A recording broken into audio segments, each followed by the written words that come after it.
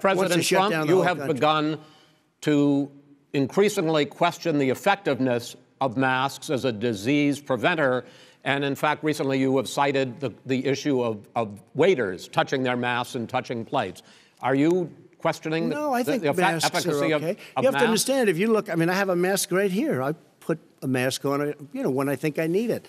Tonight, as an example, everybody's had a test, and you've had social distancing and all of the things that you have to. But I Just wear like masks when needed. When needed, I wear masks. Okay, let me ask. I don't have. I don't wear masks like him. Every time you see him, he's got a mask. He could be speaking 200 feet away from it. He shows up with the biggest mask I've ever seen.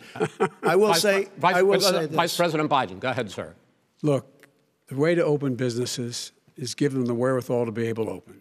We provided money. The Congress. But I was asking you, sir, about masks. Well, masks masks make a big difference. His own head of the CDC said if we just wore masks between now, if there, everybody wore masks in social distance between now and January, we'd probably save up to 100,000 lives.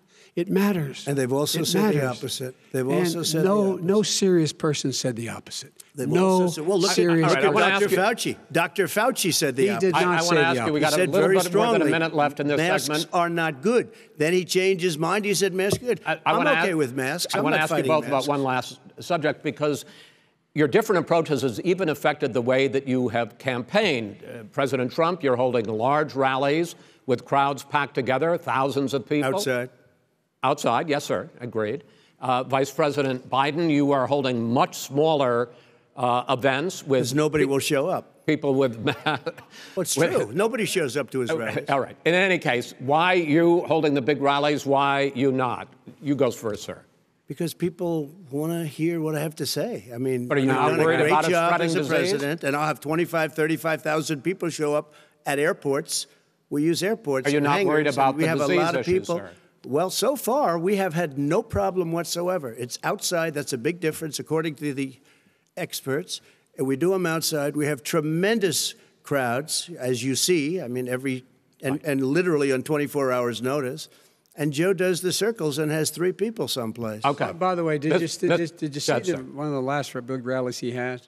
And a reporter came up to him to ask him a question. He said, No, no, no, stand back. Put on your mask. Put on a mask. Have you been tested? I'm way, I'm way did. far away from those other people. That's what he said. I can't, I, I'm going to be okay. He's not worried about you. He's not worried about the people out there breathing in one another. We've had no negative effect. jowl. No, negative effect. We've Come had on. no negative effect. And we've Well- had 35, 40,000 All right. people you these rallies. Just Yes. quickly finish up because I want to move on to our next. Yes, I would. He's been totally irresponsible the way in which he has handled the, the social distancing and people wearing masks, basically encouraged them not to. All right. Ben, he's a fool on this. If you could get the crowds, you would have done the same thing. But you can't. Nobody cares. Gentlemen, can we move on Nobody to the eco- cares. gentlemen? Can we move on to the economy? Yes.